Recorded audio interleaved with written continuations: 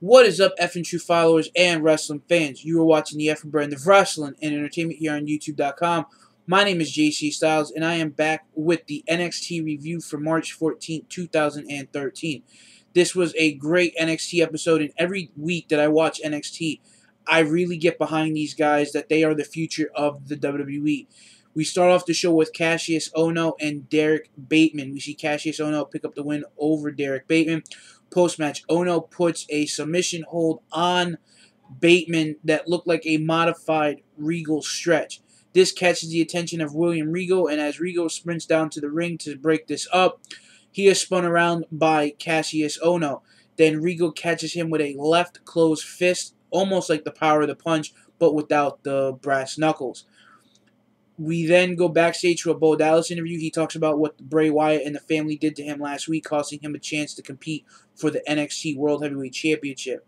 He says that he is going to get vengeance on, on Bray Wyatt and the family later into the night. We then see Summer Rae defeat Emma. Now, a few weeks back, I did a review and I talked about Emma and how she looked really sloppy in the ring and she dances that you know she doesn't she can't dance and she botched getting in the ring.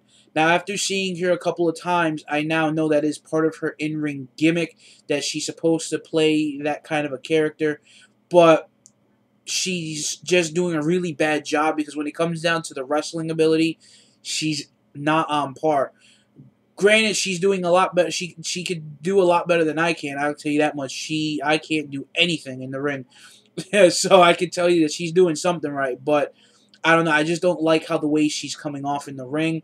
But we see Summer Rae pick up the win over Emma. Post match, Paige returns and runs down to the ring.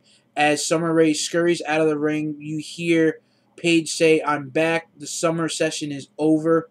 And then we go to an Adrian Neville interview backstage. He talks about what happened to Oliver Grey and that he will be back soon.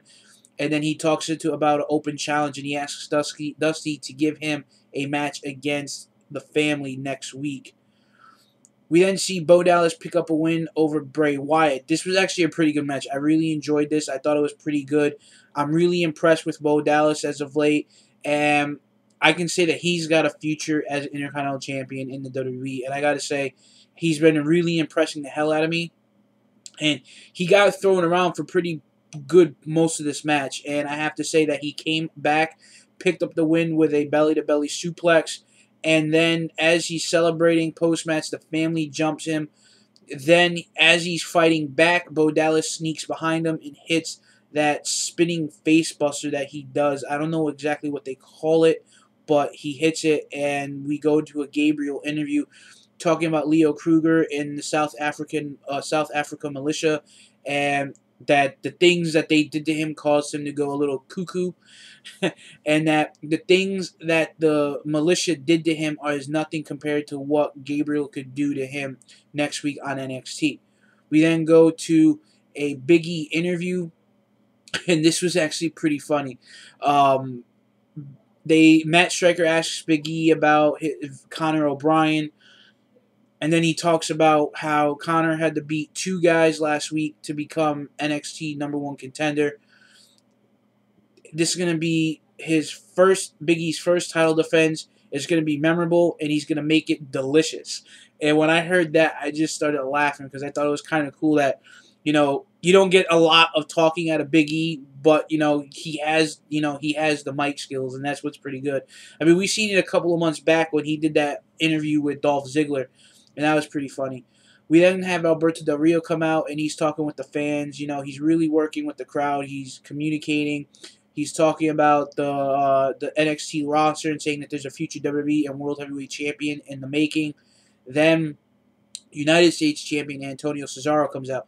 Cesaro talks about how he is the greatest United States champion ever and that he will be WWE or World Heavyweight Champion soon enough. That he also challenges Alberto Del Rio to a champion versus champions match in the main event of NXT tonight. Dusty Rhodes then comes out and says, You don't make the matches. Alberto Del Rio is my guest today. If you want a champion versus champion match, you're going to get one against this man. And Biggie Langston comes out. Now, I honestly thought we were going to get Alberto Del Rio versus Antonio Cesaro. champion versus champion match, and that would have been a pay per view caliber matchup right there. But we see Biggie come out. Biggie uh, picks up the win over Antonio Cesaro in a, a great match, but by disqualification when Corey Graves attacks Biggie, followed by Cor- Conor O'Brian, excuse me, and we see these guys jump and beat down on Biggie to end the show. Now, I really love I like NXT. I really like enjoying watching it. I enjoy reviewing it for you guys because it gives me more insight to where a lot of the the stars we new stars we see on a weekly basis on Raw and SmackDown come from, and especially like with the Shield. I didn't know who the Shield was until I went back and watched some old NXT footage. So guys, thank you for watching. Leave your comments in the comment box below and let me know your thoughts and opinions on what you think of NXT, who your favorite NXT superstar and diva is. And for the FN brand, I'm JC Styles, and I'll catch you later.